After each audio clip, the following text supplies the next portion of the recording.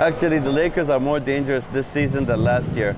Any team that faces the Lakers with any hint of un, uh, underestimating the Lakers will definitely lose.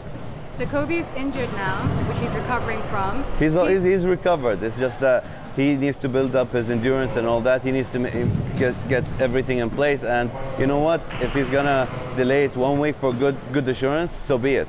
so he's been in the NBA half his life. Do you think he's going to get a sixth ring? I believe he'll get his seventh ring. Yes. And he's going to win the championship this year? Well, yeah. I mean, uh, we'll see. We'll see what happens. How the ball bounces. We'll see how what happens about the championship for this season.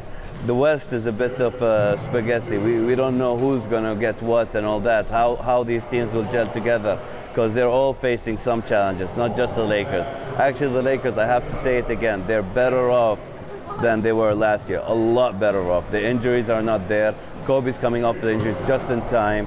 He, maybe the first week or sixth week of the league, he'll be into the game, and it's got a more athletic the team. So you're going to notice that when the when the season starts. As far as championships, I'll talk about the East Coast. There are three scary teams in the East Coast. You have the Brooklyn Nets. They're very deep. Um, you have the Bulls with Derrick Rose return.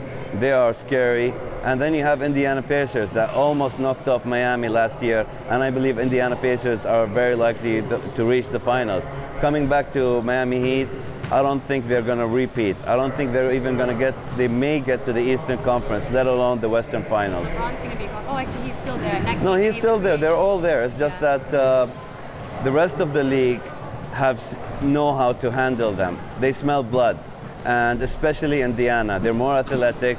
They, they, all the gaps are filled, and and um maybe Miami are strong off the charts in every uh, every side of the game, but they are one of the worst in rebounding, and that's not something that Indiana has. Miami does has an issue with rebounding, but they're excellent in everything else: scoring, stealing, defense. But rebounding, they can't fix that, and it's hard to balance. You will not have an NBA team that has everything complete.